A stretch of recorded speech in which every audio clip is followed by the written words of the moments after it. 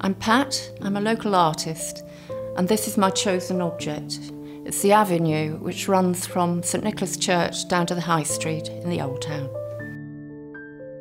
During lockdown, we have many times walked up and down the avenue, which fortunately is close to our house in the Old Town.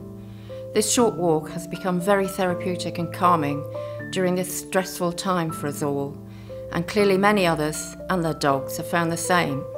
I'm sure the rector would have been very pleased to see the benefit the avenue has given at this time.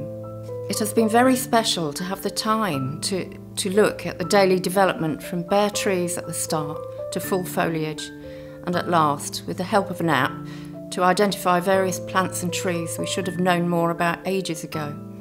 Also, to work out the various ages of trees, some of which are hundreds of years old, and a few clearly predate the actual avenue.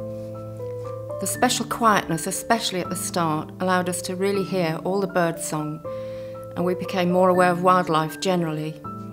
We made the most of it and went out in the early morning to hear the dawn chorus, normally taken for granted. We have occasionally hugged a tree on meeting friends when we couldn't actually hug, a helpful substitute. I do feel I have developed special relationships with a few trees. I haven't yet started talking to trees, but no doubt it wouldn't take much. I would have liked to have done a life size portrait of my favourite old lime tree which looks like a clenched fist and is clearly very old. But this painting is my tribute to the Avenue. Thank you, Avenue, for all your help during lockdown.